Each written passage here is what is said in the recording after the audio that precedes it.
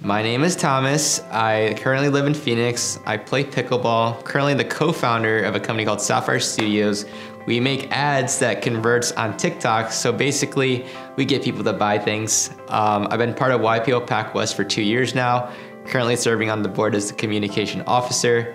And what I love about our chapter is just the people are so great. It's fun.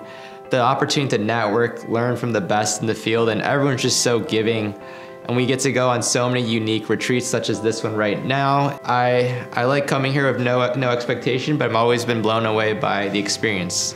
What I love about PacWest is just the people. Everybody comes from such a unique background, and I like to think that I'm open-minded, and I'm just so thankful that I get to learn from everybody and just seeing like what they do for their business, their personal life, um, they, they, they I feel they empower me to be better. Like I know I'm young and in some cases that's they look at me like I'm someone's kid, but I never felt that way in our chapter because everyone looked at me as, you know, like, hey, like I belong here and they didn't make me feel out of place or anything like that. My forum, yeah, my forum's been great so far. We just went to Albania for a week because one of our forum mates, Blairham, is from there and we spent you know time there and it was my first time on a forum retreat. And wow like it was powerful getting the chance to just meet all of my forum mates but spend so much time with them and really getting to know them on a deep level where you know now i feel so connected to them you know? Like i feel like i've known them for years and i feel if i need to do if, if i'm doing something big like they're there to support me and you know i'm also there to support them as well and the last thing I will say about forum is it's just so great for personal growth. And, you know, things I learn about it's just, you know, sometimes it's like some people have families and I don't have that yet, but hey, like now I'm getting insights from parents and seeing what the true challenges can be.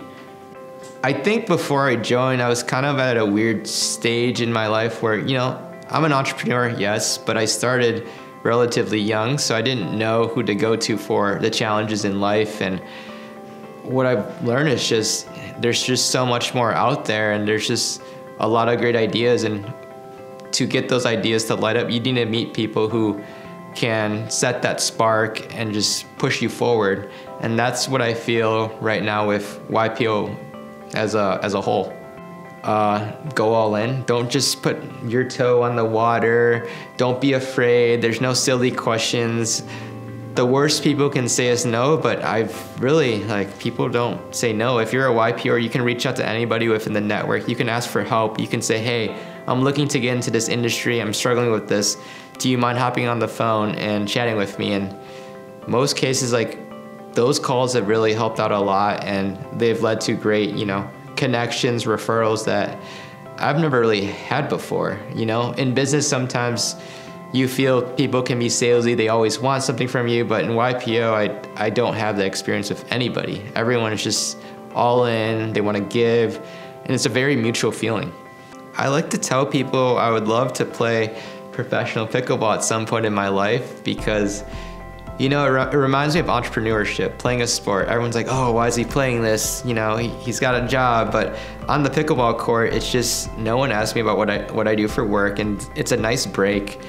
I get to be part of a growing trend, and as you know, in my business, I my team makes ads, and I'm always on top of trends. So it's that that's what I would say, pickleball.